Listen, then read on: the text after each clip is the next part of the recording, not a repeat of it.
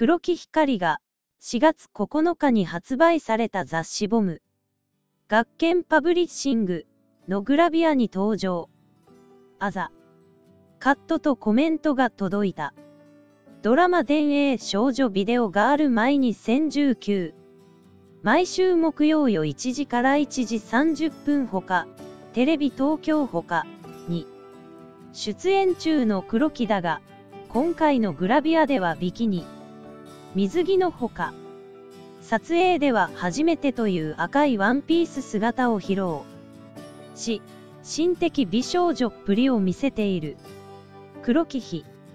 仮コメント、ボム初登場の心境を教えてください。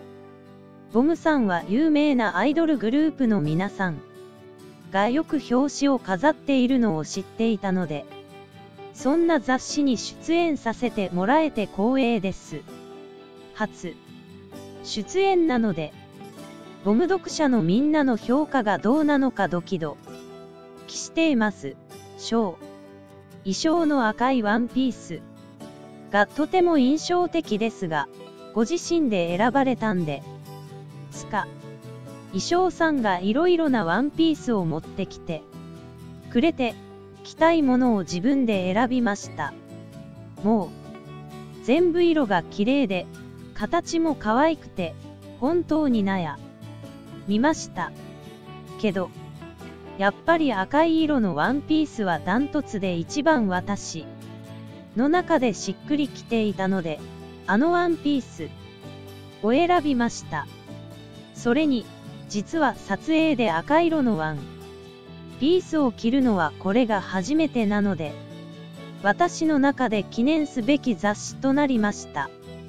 撮影でのお気に入りショットはありますか？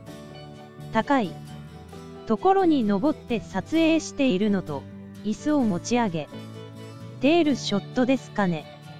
あんなにやんちゃなことをしたのは小学生の時。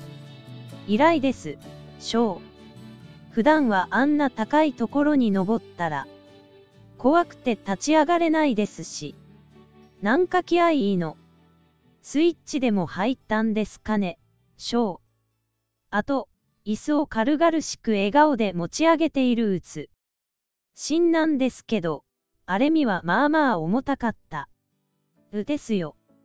まあまえっちゃらでしたが。小。